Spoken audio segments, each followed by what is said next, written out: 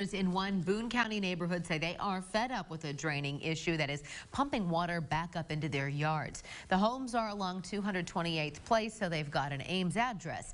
Neighbors claim they've gone to their elected officials several times, but the issue remains. Local 5 on your sides, Rafael Lopez is investigating those claims and getting a response from the county.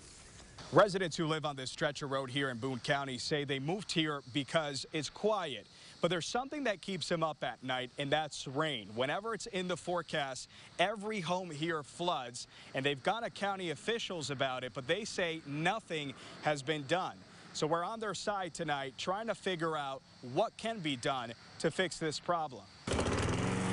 Victor Hill dreamed of having the perfect home for his family, but that dream has slowly turned into a nightmare. We get so much water back here that it just doesn't flow like it should. He says whenever a few inches of rain falls in the area, his home goes from this to this. Generally, the water would sit for two to three weeks. Uh, I still do have standing water in my backyard, but not to the magnitude when we got the rain. In just three years, he spent $15,000 in repairs. I have a fenced-in backyard that I had to have replaced two years ago.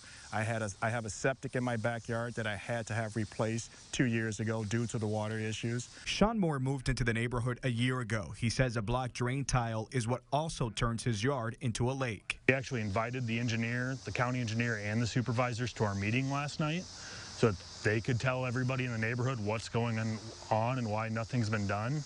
Um, nobody showed up. So Local 5 on your side went looking for the Board of Supervisors. They were not available for an on-camera interview, but did say this. We have been working on this issue for more than a year. As a group, their approach is frustrating, but we are 80 to 90 days away from a solution. Something needs to be done. Residents say they'll believe it when they see it. You know, we're running out of time. In Boone, Rafael Lopez, Local 5 News, we are Iowa.